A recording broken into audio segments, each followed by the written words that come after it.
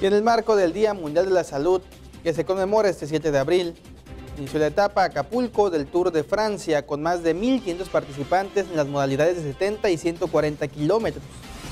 Cabe mencionar que Protección Civil implementó un operativo preventivo especial para salvaguardar a espectadores y ciclistas participantes.